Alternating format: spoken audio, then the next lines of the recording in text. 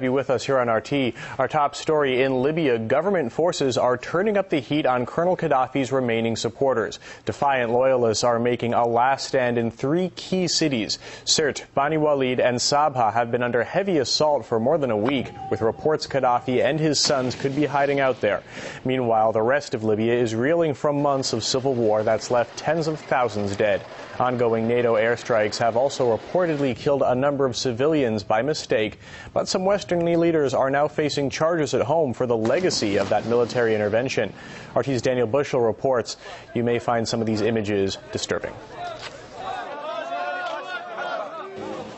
French ex-foreign minister Roland Dumas says he's ready to defend Muammar Gaddafi in the International Criminal Court, which has issued a warrant for his arrest. But NATO will have to find the colonel first. Libya's deposed leader is in hiding for good reason.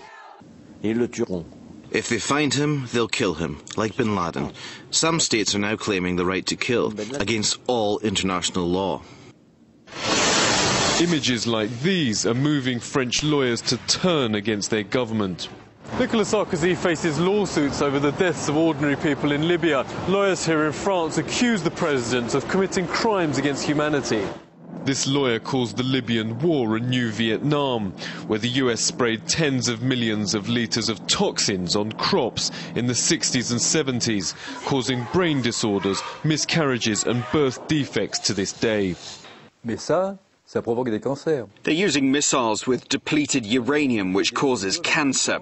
In Tripoli, I saw people crippled by NATO attacks, office workers who have nothing to do with the fighting. That's why we're suing President Sarkozy for crimes against humanity.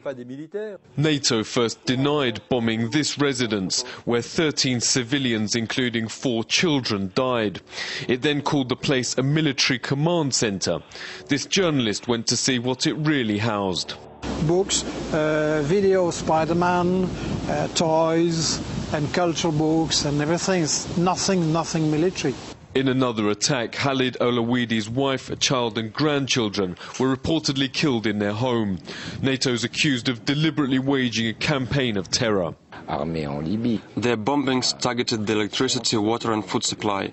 After five months of daily NATO bombs and thousands of deaths, people will stop supporting the regime because they just can't take it anymore. Western leaders are poised for their first big legal challenge over Libya. If they stop the cases coming to court altogether, as Ciccaldi, it will prove once and for all that Western justice really is run by politicians, not the rule of law. Daniel Bushell, RT, Paris.